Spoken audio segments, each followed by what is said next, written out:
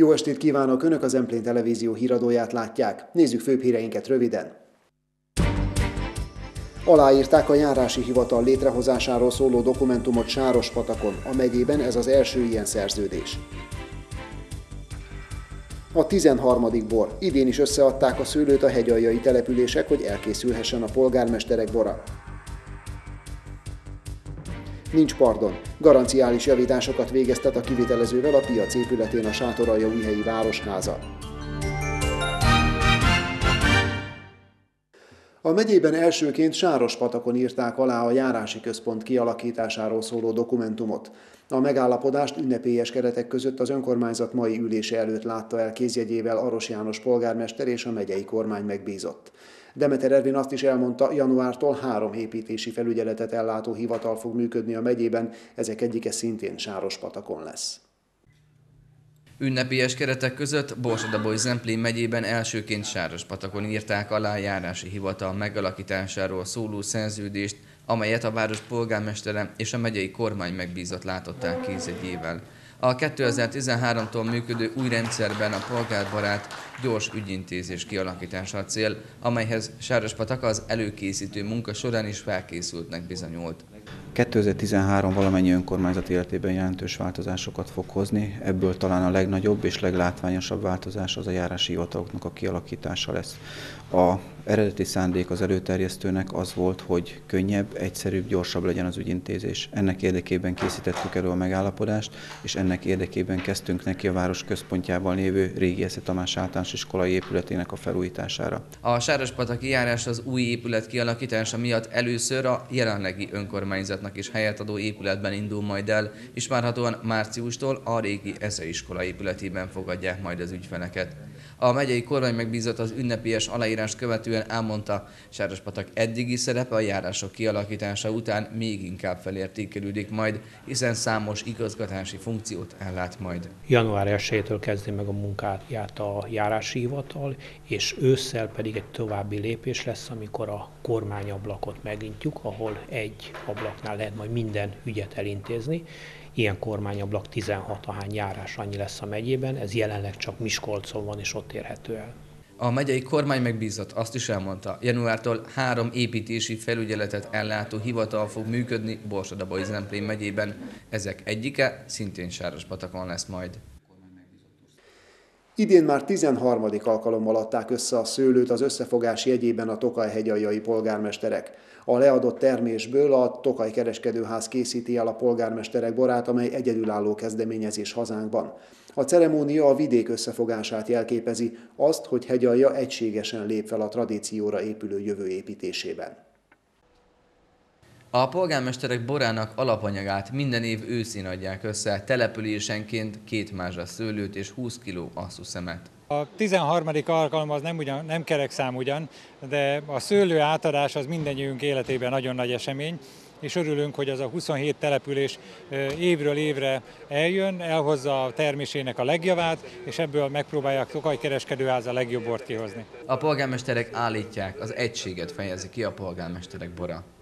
Olyan gesztus, amelyikkel kinyilvánítjuk azt, hogy Hegyalja 27 települése képes együtt gondolkozni, együtt működni, és hogyha vannak is feszültségeket, feszültségek a települések között, akkor ezeket képesek vagyunk adott esetben egy magasabb cél érdekében félretenni. A térség számára a jövőt jelenti a szőlőre, borászatra épülő fejlesztések megvalósulása, de a helyi kistermelőknek a napi megélhetést is közös érdek, hiszen mind a 27 településen jelentős számú szőlő van, és nagyon sok polgár, közel 2500 kistermelő, ami egy 10-13 ezer embert jelent, foglalkozik a szőlővel. Tehát közös érdeke nem csak az üzleti világnak, nem csak az államnak, hanem a polgármestereknek is, hogy itt összehangolt munka legyen. A Tokai, mint zászlós hajó szerepel a fejlesztési tervek között is. Nem elég, ha csak azt gondoljuk, hogy itt szőlőből, vagy a világhíres, a világ legjobb borából, a Tokaiból meg tudunk élni. Ehhez több kell. Kell a feldolgozóipart szélesíteni, kell a könnyűipart, az élelmiszeripart meg újra honosítani a vidéken, és ezért nagyon sokat kell még tennünk. A palackokat jövő tavasszal vehetik majd át a településvezetők. A belváros rekonstrukciós program részeként megvalósult új piacépület garanciális javítására kötelezte a kivitelezőt a Sátoralja újjai önkormányzat. A város már a közbeszerzési eljárás kiírásakor figyelt arra, hogy olyan céget válasszon, amelyik hosszabb időre vállalja az épület garanciális javítását.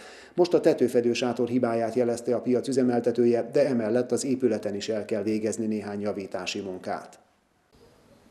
A piactér árusító standjai felett álló sátor meghibásodását jelezte a Városházának a piac üzemeltetője. A városa jelzés után a kivitelezővel együtt ellenőrizte, mik azok a hibák, amelyek most a használatba vétel után két évvel jelentkeztek a létesítményen. A garanciális javítást a közbeszerzési szerződés alapján kötelező elvégezni a kivitelező cégnek. Ez nem csak a piac, de minden önkormányzati beruházás esetében fontos kitétel. A kivitelező cég kiválasztásában egyik fontos szempont, hogy mennyi időre vállal garanciát munkálatai után a cég. Van ez ebben az esetben is, és bizonyos időközönként egyrészt a piac üzemeltető által e, észlelt problémákat, de amúgy is e, közösen bejárjuk a kivitelezővel, áttekintjük a, a adott építménynek a jelenlegi állapotát, és döntünk arról, hogy szükséges a beavatkozás. Most úgy néz ki, hogy igen, szükséges volt. A ponyva húzó e, motoroknak a felújítása történt meg, burkolatjavítások kisebb-nagyobb mérték. A garanciális hibák kijavítása után a munkát a városellátó szervezet és a műszaki osztály szakemberei ellenőrzik és veszik át. A hibák és hiányok kijavítására a kivitelező cég a szerződésben vállalt 5 év garanciaidő végéig kötelezhető. Már a színházi bérlet sorozat meghirdetése előtt elfogyott a bérletek fele helyen. A színház szerető közönség minden esztendőben a nyári fesztiválok ideje alatt kérdőív segítségével választhatja ki azokat az előadásokat, amelyek közül az, amelyikre a legtöbbet szavaznak, biztosan bekerül az új évad meghívott darabjai közé. Az idei évad egy komédiával kezdődik, musical és dráma is van a sorozat előadásai között. A Sátoraljaújhelyi Latabár Árpád Színház befogadó színház. Nincs önálló társulata, de szívesen helyt ad a tájoló színházak előadásainak. A művelődési központ egyik legsikeresebb rendezvénye a színházi bérletsorozat, amely októbertől áprilisig öt előadást jelent a városban. A színi darabok általában teltházzal mennek a városban, sőt a bérletekre már a megjelenés előtt regisztrált idén is a közönség. Valójában már regisztráltatták magukat, hogy igen, ők kérik a színház színházbérletet. És bíznak abban, hogy megfelelő jó szakemberek jól döntenek, és kiváló színházi évadunk lesz. Ez nagy-nagy bizalom a színház látogató közönség részéről. Nem is tudom, hogy bárhol ez így működne, mint itt helyben, és minden előadásunk telt házas. Az idei évad öt előadását úgy válogatták össze a szervezők, hogy vígjátékot, komoly darabot és zenés előadást is tartalmazzon. A tájoló színházak befogadására a kikalkulált bérlet és jegyárak, valamint az állami támogatások biztosítják az anyagi forrást. Ebben az évben sem a jegyek, sem a bérletek árát nem emelte a művelődési központ, pedig a már időszerű hang- és fénytechnikai fejlesztést valójában csak ebből lehetne megvalósítani. Nagyon minimális kiírás van, ami technikai fejlesztést eredményezhetne. Valójában ennek egyik módja az, amikor jelentősen megemelik a jegyárakat, és a bejövő bevételből tudják korrigálni, tehát milliós nagyságrendről beszélünk, tehát egy reflektorára az egy ilyen másfél-kettő millió forint. Október 25-én egy komédiával Bergman társasjáték New Yorkban című két felvonásos előadásával kezdődik a Sátoraljaújhelyi Színházi évad. Mit tehetnek az idősek saját biztonságuk érdekében, hogyan előzhetnek meg baleseteket, és miként kerülhetik el, hogy áldozattá váljanak.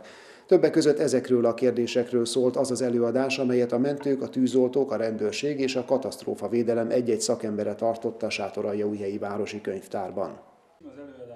Egy tűzhelyen felejtett lábas is okozhat katasztrófát, egy nyitva felejtett ajtó vagy ablak pedig jó lehetőség a besúranó tolvajoknak. Milyen jelek utalnak szív problémákra? Ilyen konkrét példákon keresztül mutatták be a tűzoltóság, a rendőrség és a mentők szakemberei, hogyan tehetik biztonságosabbá mindennapjaikat az idősek, mi az, amire figyelniük kell. A kiszolgáltatottság a kor előre haladtával egyre nő. A bűnözők gyakran használják ki az öregek lankodó figyelmét és feledékenységét. Amikor a különböző szolgáltatóknak álcázott egyedek, személyek keresik meg őket, és megpróbálják különböző trükkös dolgokkal, hogy pénzt hoztak vissza, vissza kell adni, kicsikarni tulajdonképpen az eldugott, vagy nem is az eldugott, a megtakarított és otthon tartott pénzüket, ugye kifigyelik őket, elterelik a figyelmüket és meglopják így módon őket. Ez a legelsődleges. Az időjárási frontok és a túl meleg vagy a túl hideg időszakok egyaránt okozhatnak problémát az öregeknek, kezdte előadását a Sátoraljaújhelyi mentőállomás vezetője. A legfontosabb mégis az, hogy figyeljünk a jelekre, vagyis hogy milyen előzményei vannak egy szívinfarktusnak, mi okozza ezt, és mit tehetünk ellene. Mi az, amiből meg tudják állapítani, hogy ez egy nagy valószínűséggel koronária, tehát szívkoszorú érnek a szűkület, a jelzárodása okozta melkasi fájdalom, és mit tehetnek, és miért is fontos az, hogy minél hamarabb sürgősségi ellátásban részt vegyenek, ami lehet az orvosi ügyelet, vagy esetleg ugye a mentőszolgálat. Szénmonoxid mérgezés, kájhából kieső parázs okozta tüzek. Az idősek esetében számos veszélyforrás van, ami a tűzoltóság beavatkozásával is végződhet.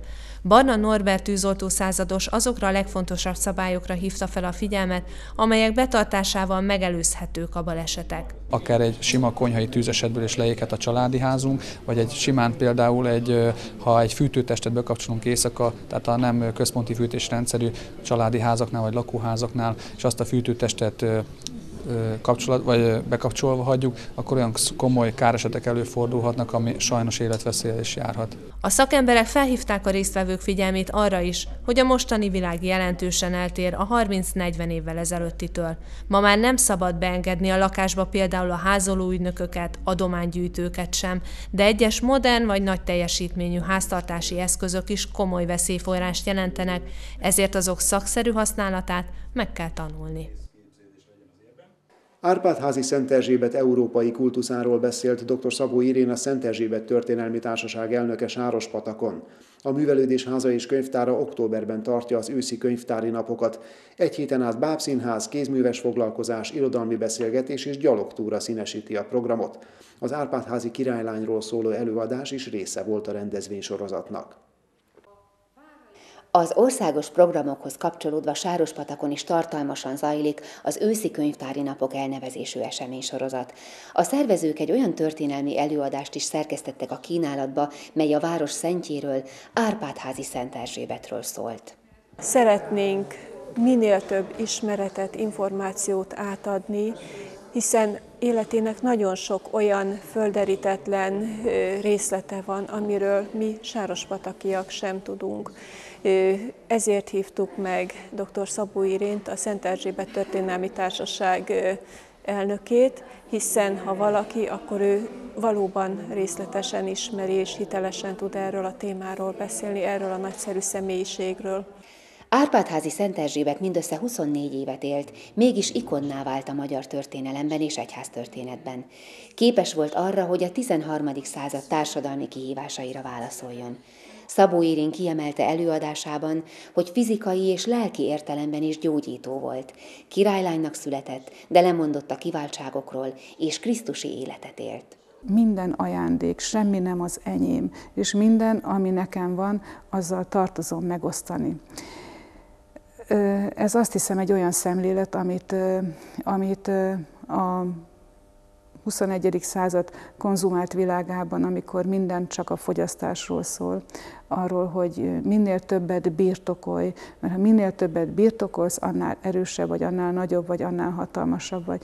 Erzsébet épp az ellenkező utat mutatta meg. Azt mondta, hogy minél többet szétosztasz, annál nagyobb vagy, annál hatalmasabb vagy, annál erősebb vagy. Az előadó arról is beszélt, hogy Szent Erzsébet középkori európai kultusza egészen kivételes. Már életében szentként tisztelték. A sírjához látogató zarándokok is csodás gyógyulásról számoltak be. Tisztelete gyorsan terjedt Itáliában, Itáliában és Németországban. Lelki nagysága példa lehet minden ember számára. Főbb híreink még egyszer egy-egy mondatban.